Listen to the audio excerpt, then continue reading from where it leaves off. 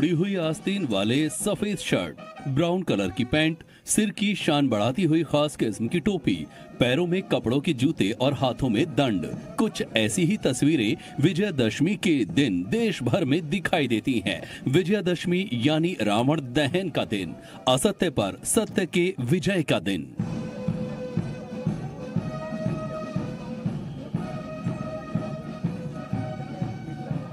ऐसी मान्यता है कि रावण वध से पहले भगवान राम ने आठ दिन तक उपवास रखा था। नवे दिन आदि शक्ति, दुर्गा के शक्ति रूप की अर्चना की थी। शस्त्रों को माता को समर्पित किया था और शस्त्रों का भी पूजन किया था। इसके बाद राम ने दुर्गा माता से विजय का आशीर्वाद प्राप्त किया था। इसके बाद जब राम ने धनुष उठाया था तो रावण के घमंड को चूर चूर कर दिया था। तभी से भारत में शस्त्र पूजन और आदि शक्ति की आराधना की परंपरा चली आ रही है। नवरात्रों के नौ दिन तक दुर्गा माता घर घर में वास करती है। विशेष पूजा के बाद नवे दिन माता के सिद्धिदात्री रूप की पूजा की जाती है और माता से अपनी मनोकामनाएँ पूरी करने का आशीर्वाद मांगा जाता है। कन्याओं को माता का रूप मानकर कन्या पूजन किया जाता है। नवरात्र के आखिरी दिन मध्य प्रदेश के पूर्व मुख्यमंत्री शिवराज सिंह चौहान ने भी कन्या पूजन किया। उन्होंने अपने हाथ से कन्याओं को भोजन परोसा और कन्याओं से आशीर्वाद भी लिया।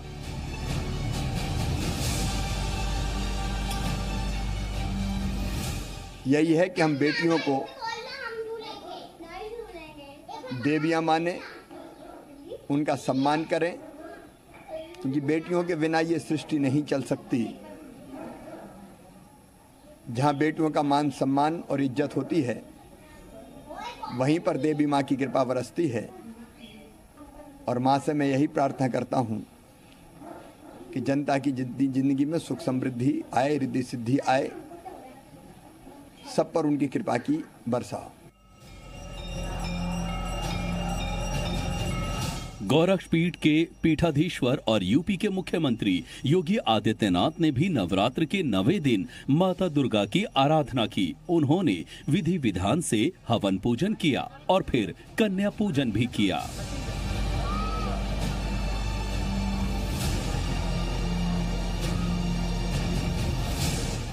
परंपरा में नारी सशक्तिकरण और मातृशक्ति के प्रति सम्मान व्यक्त करने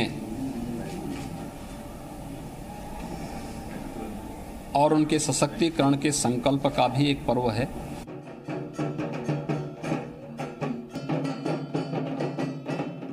भारत के पूर्वी हिस्से में दुर्गा पूजा धूमधाम से मनाई जाती है। पश्चिम बंगाल के साथ ही असम और ओडिशा में दुर्गा की आराधना होती है। बांग्लादेश में भी दुर्गा पूजा की जाती है। ऐसी मान्यता है कि महिषासुर से लड़ते हुए दुर्गा को कई दिन हो गए थे और विजयदशमी के दिन देवी दुर्गा ने महिषासुर को मारा था।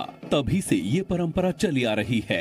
इस त्योहार पर पूरा बंगाल खास तौर पर सजता है और इस प्रदेश में ये साल का सबसे बड़ा पर्व होता है। है।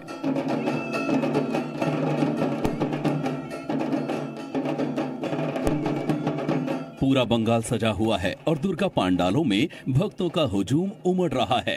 विजयादशमी पर देश से बुराई का अंत हो। देश के दुश्मनों का हनन हो और भारत देश तरक्की पर बढ़े।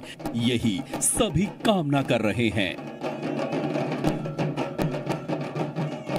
Bureau report, Zee Media.